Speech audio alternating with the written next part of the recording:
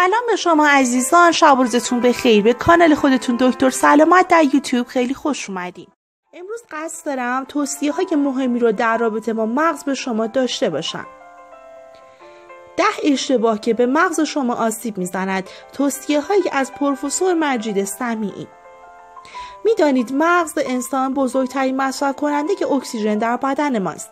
دمیدن هوای آلوده باعث کاهش اکسیژن تامینی مغز شده و منجر به کاهش کارایی مغز می شود و حال ده مورد اشتباهی که موجب آسیب شدید به مغز می شود را به گفته متخصصی به نام ایرانی مقیم آلمان پروفسور سمی را برای شما شرح می دهم نخوردن صبحانه.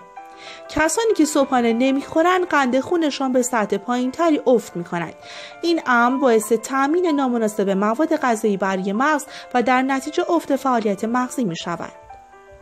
پرخوری این امر باعث تسلب شرعین یعنی سختی دیواره رگها مغز شده و منجر به کاهش قدرت ذهنی می شود. مصرف دخانیات این امر باعث کوچک شدن چند برابری مغز و منجر به آزایمر می شود.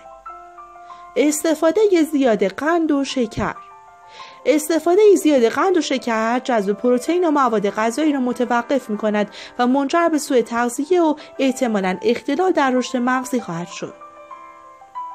آلودگی هوا مغز بزرگترین مصرف کننده اکسیژن در بدن ماست دمیدن هوای آلوده باعث کاهش اکسیژن تامینی مغز شده و منجر به کاهش کارایی مغز می شود کمبود خواب خواب به مغزمان اجازه استراحت می دهد.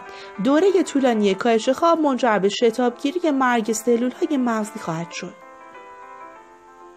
پوشاندن سر به هنگام خواب خوابیدن با سر پوشیده باعث افزایش تجمع دیوکسید کربن و کاهش تجمع اکسیژن شده و منجر به تاثیرات مخرب مغزی خواهد شد.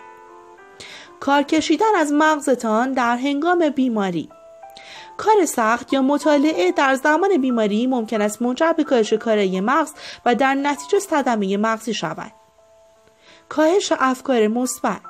فکر کردن بهترین راه برای تمرین دادن به مغز من است. کاهش افکار مثبت مغزی ممکن است باعث کوچک شدن مغز شود. و در نهایت کم حرفی. مکالمات انتزاعی منجر به رشد کارایی مغز خواهد شد. ممنونم از اینکه با من همراه بودید. subscribe کردن ما رو فراموش نکنید.